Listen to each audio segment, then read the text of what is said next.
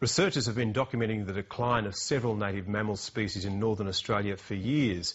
The northern quoll's one of them, but there's been an alarming drop in its numbers with the arrival of the cane toad. Saving the small mammal is a challenge, but researchers haven't given up the fight. Sarah Everingham reports from the top end.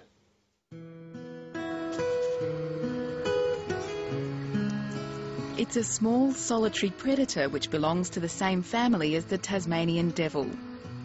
The northern quoll is a nocturnal creature, but it's also one that's full of curiosity. They are iconic. They are an animal people love to see around. They're important to Aboriginal people. But the northern quoll is just one small mammal that in recent decades has been disappearing from many parts of northern Australia, even from Kakadu, a World Heritage listed conservation reserve. Once the quoll was one of the most common small animals in the park. In terms of a, a, a national park, our job is to maintain biodiversity and maintain natural and cultural values. Quolls are a part of that. It's 20 years since Steve Winderlich first came to work in Kakadu, and he doesn't need data to know what's happened to the park's hapless little resident. Quolls and other animals were quite common. You'd see them very regularly. They'd actually be in your house sometimes. They'd live in your roof to seeing virtually none. So it was really, the before and after was quite drastic. At the beginning of the decade, a monitoring program in Kakadu was trapping around 66 quolls, but by the end of the decade, the number had dropped to three. It appears the arrival of the cane toad in Kakadu was the tipping point for a population already in decline. The quoll's brief life cycle made them particularly vulnerable. We'll get the, the ear tag now. Males live for just short of a year. They die after the reproductive season, and for a time the population's made up of only females. When toads first invaded Kakadu, quolls went rapidly extinct because the first toads they encountered were these giant toads at the invasion front, and uh, they're lethal to most predators. So the quolls that attacked those toads died, and so they had no opportunity to learn. But researchers from the University of Sydney are working with park managers to train quolls to steer clear of the toad.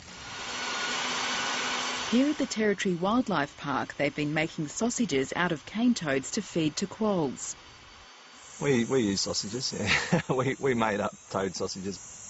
They have enough toxin in them to, to just tell the quolls that, hey, that's, that taste is not a good thing to, to encounter. How's this little fella going, Linda? Oh, he's going great. Quolls bred at the park stay here for up to eight months being trained before they're released into the wild. It's the toads are here to stay. We've got to somehow, as as environmental managers, work out a way to enable our wildlife to exist with toads. Every three months in Kakadu, these quolls trained in captivity are monitored to see how they're faring in the wild. And the early news is good. Some of our females that we train to avoid cane toads have survived for two years now in the wild and they regularly encounter toads when they're out foraging.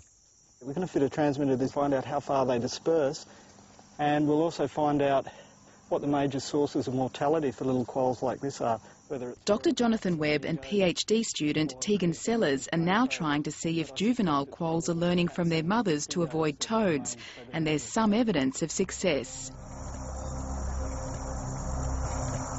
So we're listening into a frequency on a baby quoll, and uh, as we get closer, uh, the beats will get louder, and that's how we can find it, um, probably denning under a rock or something like that.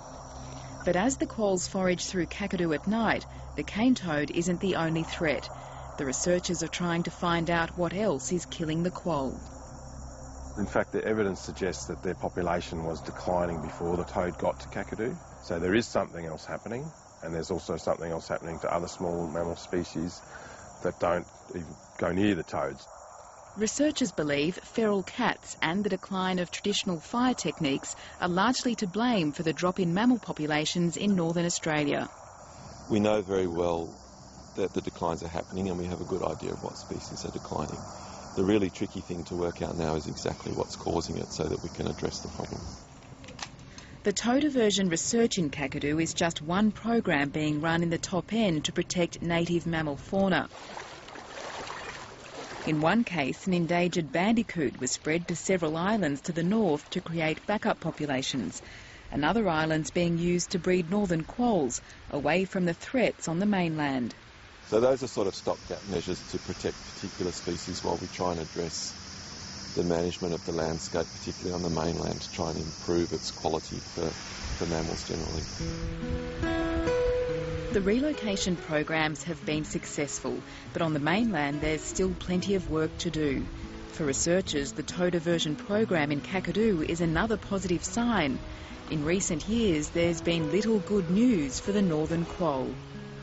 It's very promising, it's very exciting to see at least something positive happening, but it's, it's still a long way to go. It's only a small part of the picture, and there, there will be no one size fits all solution to this. The image of that cane toad going through the blender is going to stay with me for a while. One of the few things I didn't think of when I was a kid in Townsville. Sarah Everingham